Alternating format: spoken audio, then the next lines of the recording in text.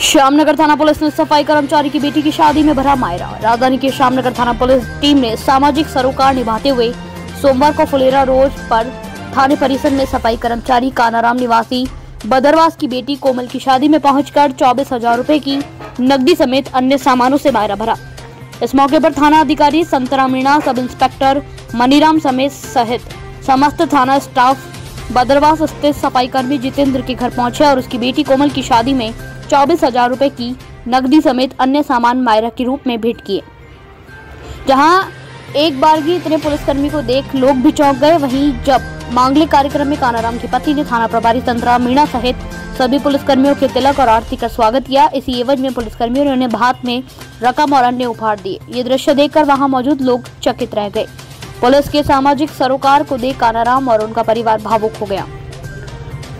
थाना अधिकारी संतरा मीणा ने बताया कि कानाराम नाम का व्यक्ति पिछले लंबे अरसे से श्यामनगर थाना पुलिस में साफ़ सफ़ाई का काम करता आ रहा है। सोमवार को थाना इलाके में स्थित बदरवास में रहने वाले कानाराम की बेटी कोमल की शादी थी, जिसमें कानाराम ने भी श्यामनगर थाने के पुलिस स्टाफ को न्यौता दिया, जिस पर थाना प्रभारी संतराम मीणा ने स्टाफ के साथ बातचीत कर सफ़ाई कर्मी कानाराम की आर्थिक मदद का प्रस्ताव रखा।